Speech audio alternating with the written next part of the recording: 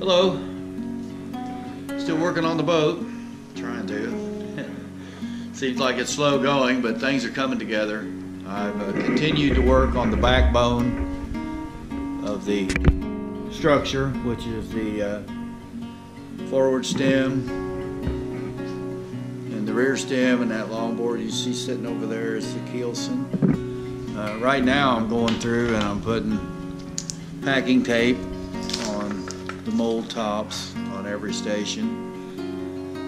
So when I began epoxying everything together, I don't inadvertently glue the molds to the boat.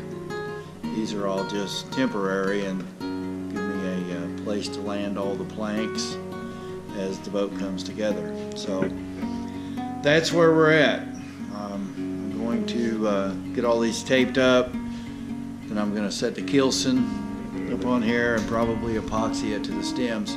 Then the backbone of the boat will be complete and we should be